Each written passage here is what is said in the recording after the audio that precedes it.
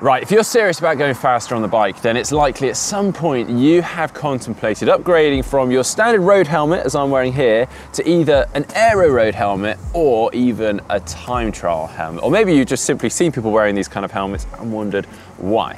Well, in today's video, I'm gonna be tearing apart and weighing up the pros and cons of each of these helmets and how they may benefit each rider. Oh, and don't worry, I will be putting them up against each other in a little versus too.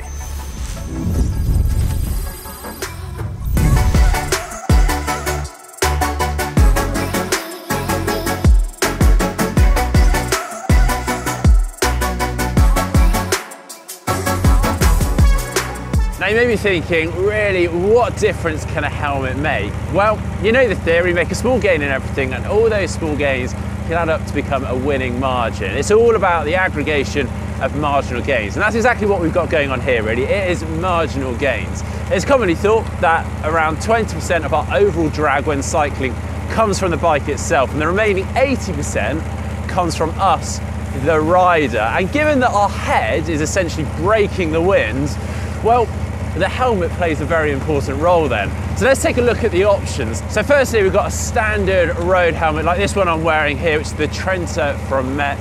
It's got loads of air vents, they're very well ventilated, but its primary function is protection and comfort. And they tend to be pretty light. This one is incredibly light, around 250 grams. Whereas an aero road helmet is designed for speed. And here I've got the brand new Manta from Met. It's still obviously incredibly protective and still very much a road helmet with similar shaping, but you'll notice there's far fewer air vents as it's trying obviously to be more aerodynamic and they can weigh in a little bit more, although this one is also incredibly light at just 250 grams.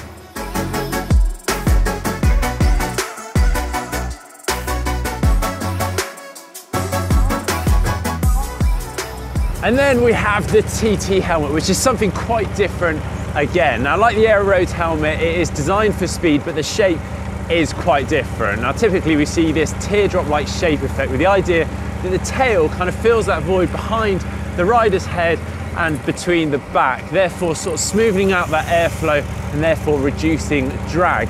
Now, the tails can vary in length, and I'll explain a little bit why on that later on, but you probably have noticed there's even less air vents yet again. And also they can be a little bit heavier. This one is around 350 to 400 grams, which is no surprise really.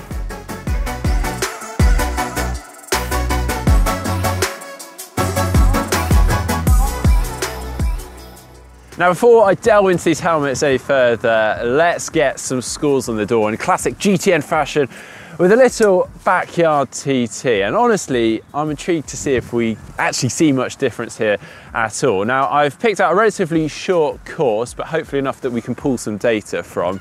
It's three kilometers long and nice and flat. Now, unlike usual, I'm actually going to hold the same speed for each of these runs, 40 kilometers an hour, and see what power that gives me, rather than the other way around as we usually do. That way, each helmet is used in the same conditions, the same speed, the same wind flow, etc., etc. So first off, let's give it a go with the standard road helmet. Three, two, one, let's go.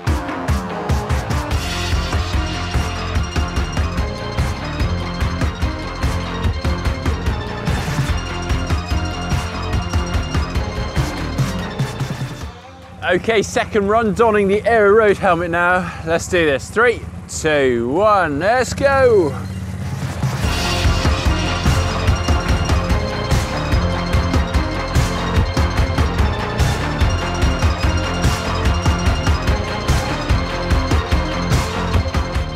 All right, final run with the TT helmet. Let's do this. Three, two, one, let's go.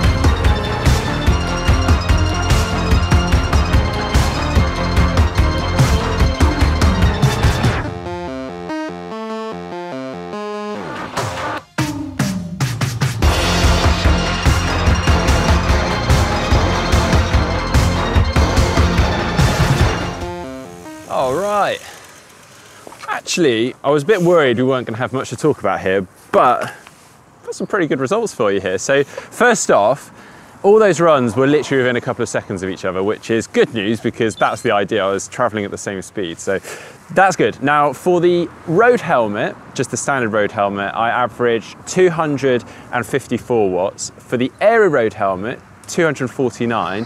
And then for the TT helmet, 245. So that's a 9 watt saving from the standard road helmet up to the TT helmet, which I'm quite pleased with because that's actually kind of in line and follow suit with a lot of the research that I found out there. So we had a significant jump up from the standard road helmet to the Aero Road helmet, and then a slightly smaller jump up again from the Aero Road helmet to the TT helmet. And what I do know from the very clever sciencey people out there is that the faster we go, the more these aerodynamic and marginal gains come into play.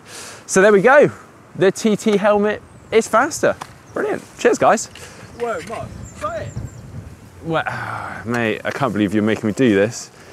Yeah, okay. Aerodynamics and speed isn't simply all it's about, is it, really? There is more to it than that. So let's go grab a coffee and I'll explain a little bit more about why these other helmets may be a good option.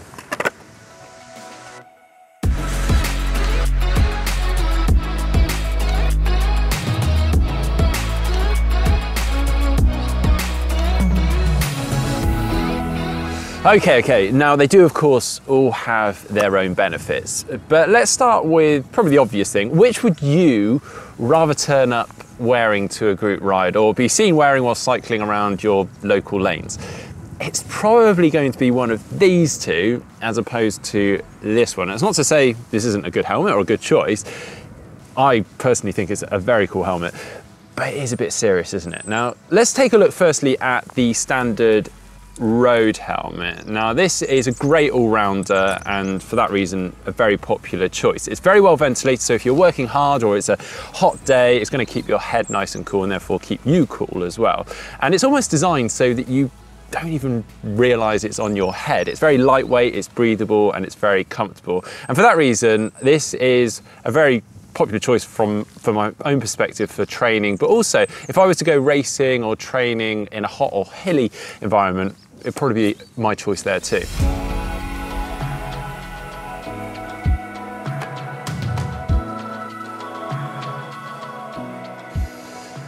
The Aero Road helmet, on the other hand, is a great in-between option and is also becoming increasingly popular. Now, the bonus of this is you, you can wear this any day of the week and people wouldn't necessarily notice, yet you are gaining from some of those aerodynamic benefits that we saw just before.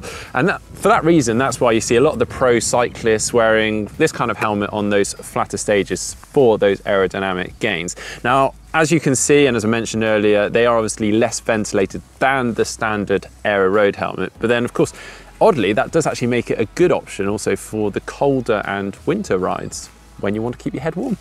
And then the TT helmet. Well, this is, of course, as we've seen, the fastest option for the right course for the right rider. Now, let's be honest, this isn't your everyday helmet kind of option.